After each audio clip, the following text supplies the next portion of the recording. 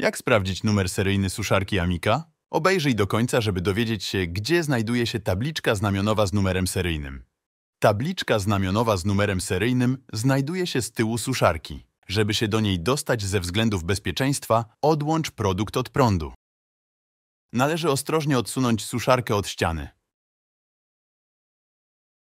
W naszych obecnych modelach tabliczki z numerem seryjnym znajdują się z tyłu produktu, w górnej części tylnej obudowy. Szukany przez Ciebie numer seryjny znajduje się w tym miejscu. Na tabliczce znamionowej znajdziesz też inne informacje dotyczące Twojego sprzętu. Model. Typ techniczny. Kod produktu. Napięcie zasilające. Moc silnika.